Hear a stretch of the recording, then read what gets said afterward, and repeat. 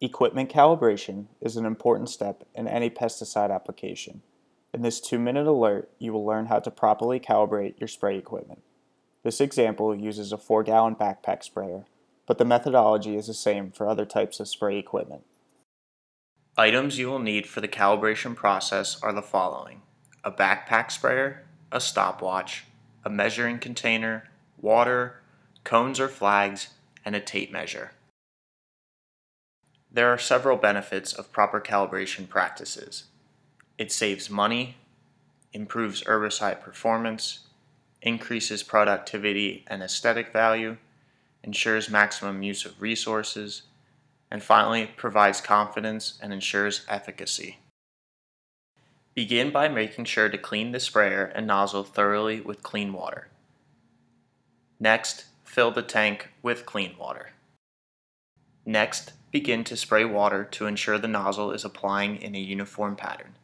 If the pattern is uneven, clean, adjust, and or replace the nozzle before continuing. Measure an 18.5 by 18.5 foot area and mark the application area. These dimensions make for easy calculations later because it is 1 128th of an acre and there are 128 fluid ounces in 1 gallon. Spray the entire application area while timing how long it will take to uniformly cover the trial area.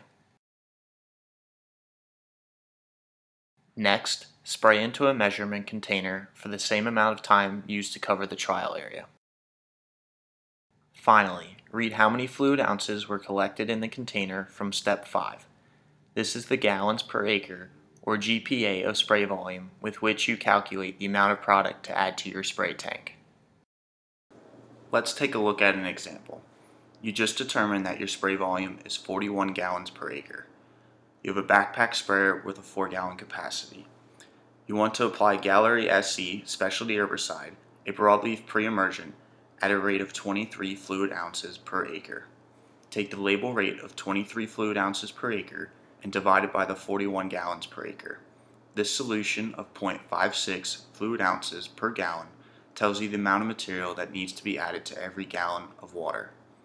We know that we have a 4 gallon sprayer. By taking 4 gallons and multiplying by 0.56 fluid ounces per gallon, we calculate that 2.24 ounces of Gallery SC specialty herbicide should be added to the backpack sprayer. Calibration is an important step before any pesticide application. Remember to always read and follow label directions.